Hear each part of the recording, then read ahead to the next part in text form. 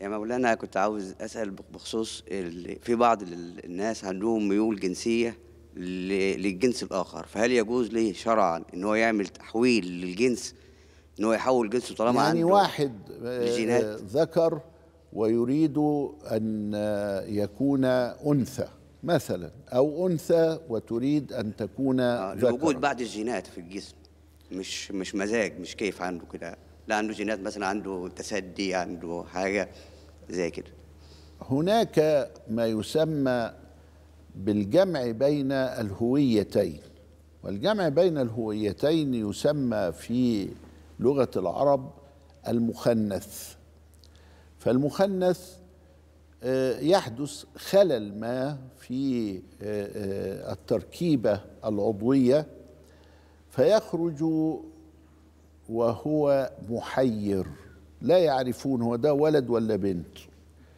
ممكن يكون ولد فيكتب بنتا وممكن يكون بنت فيكتب ولدا. وحينئذ بيسموه الفقهاء المشكل. والمشكل له صور وله أوضاع معينة عضوية ونفسية وطبية. وعندنا لجنة في آه، مصر لعرض مثل هذه الحالات.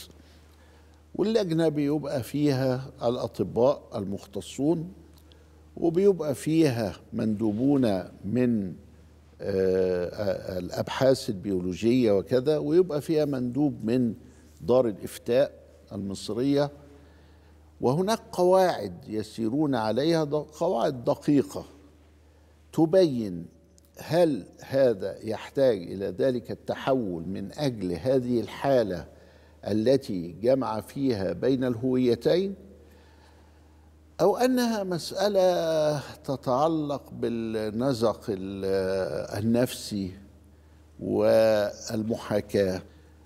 وبيحدث فيها تقرير واللجنة مكونة من عدة تخصصات ومن آه، أكابر المختصين في هذا فيجوز شرعا وقانونا أن يفعلوا هذا.